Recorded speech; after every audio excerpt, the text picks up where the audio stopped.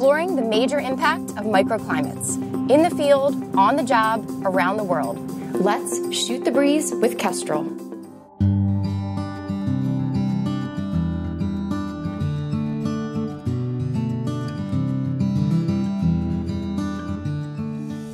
My name is Matthew Ryan Halley, and I'm a scientist.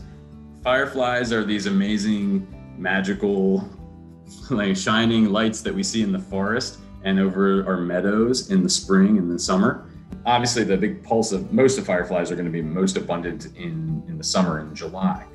From 8:30 until midnight, we're going to have a lot of firefly activity, but during that time, we might have three or four species and it's all mediated by weather ultimately. And a lot of times, those the data that are feeding the weather apps are coming from some station nearby.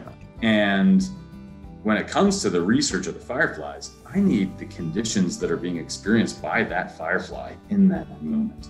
The, the Kestrel unit's very valuable because it's it's taking the readings right where the action is. And as soon as I get to a site, I start taking readings. Really, I just want I want a temperature reading that is associated with that specimen. But we're also then going to have all of this, these layers of data that are associated with that one specimen.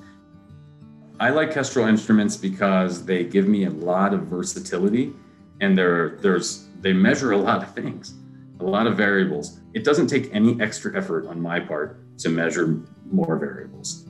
So I can go in with the Kestrel and with one push on the button, I collected you know 15 different measurements. It's small, compact, powerful, has all the variables you need trust it.